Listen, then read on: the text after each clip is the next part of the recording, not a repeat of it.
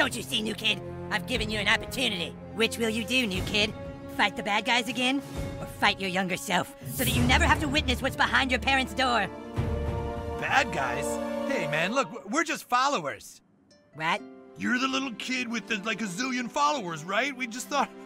Well, we thought that if you could add us, and maybe. You know, maybe we could have friends. Because we don't really have any followers. Couldn't you please add us? Oh boy, oh boy. Our moment! Our moment is finally here! Wow! Ready when you are, new kid. It's happening. We did it, everyone! I, I'm so happy.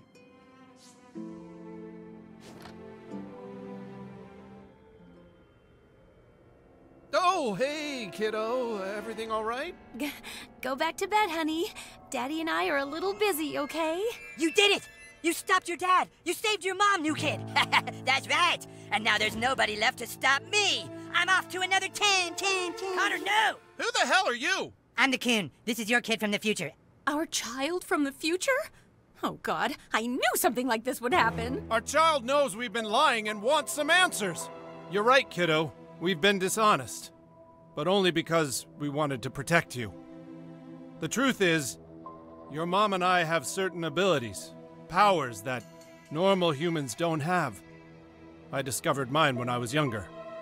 One day I created a Facebook profile, and within a few hours, I had over 3 million followers. My powers are similar, except they only seem to work on Instagram. I got 4 million followers as soon as I posted my first picture. Of course, powers like that don't go unnoticed for long. Shortly after that, your mother and I were kidnapped by the government, where they had scientists spending months doing experiments on us, trying to figure out how we were able to gain so many followers so fast. That's where your dad and I met and fell in love. Inside a cold, damp government lab. Yes, by day they ran experiments, and by night we made sweet love. My powers combined with your mother's, you received over 10 million followers the minute you were born. And by the time they cut the umbilical cord, you were already more powerful than all the Kardashians combined. That's why we had to escape, because we knew the government would use you to do horrible things. And we've been on the run ever since, moving from city to city, always trying to stay one step ahead. But everywhere we go, you just can't seem to stop gaining followers. Sometimes they even break into our house and use our toilet just to be close to you. That's why we've been putting special medicine in your dinner, sweetie, to try to curb your powers. But it didn't work. The side effects of the medicine just gave you really powerful and really smelly farts. We're sorry, kiddo. Oh my god.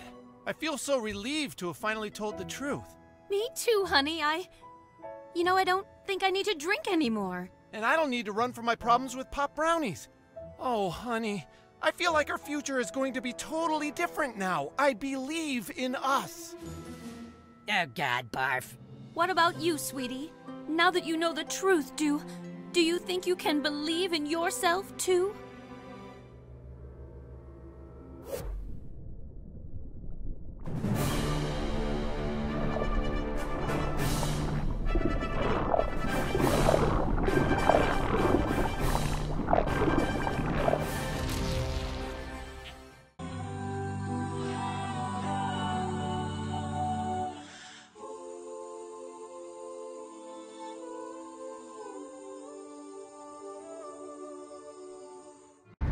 No matter how hard you try to change the past, your dad will always fuck